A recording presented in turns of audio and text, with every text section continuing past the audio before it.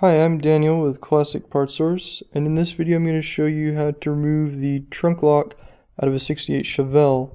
Now this lock cylinder is what would be real similar to most 60s and 70s GM vehicles when your trunk lock is in the deck lid. It's real simple to do.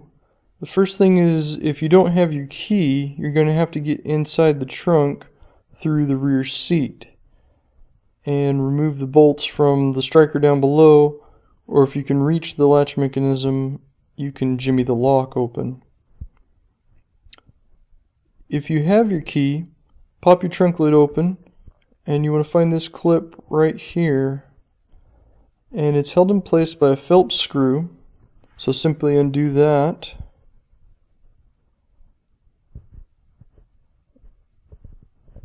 And take your screw out and you pull the clip down until it snaps loose.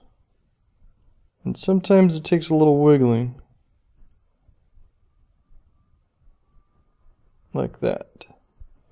And from there the clip it has a whole loop around it so you have to leave it in place and just slide the trunk lock out like that. And then you can pull the clip out and you can see it surrounds the cylinder. So you have to pull the cylinder before you pull the clip out. Now the rod that goes into your latch is just held on by this spring on the cylinder here. So you just have to make sure that that's in place. And then to reinstall it, line up the rod into the slot into the latch that you can see down inside there. Now the cylinder can only go in one direction due to the notches in the sheet metal. So first when you're stalling, put the clip in part way, and then slide the cylinder in, locating the slot in the latch, and then push the clip up, and it snaps into place, and then put your screw back in,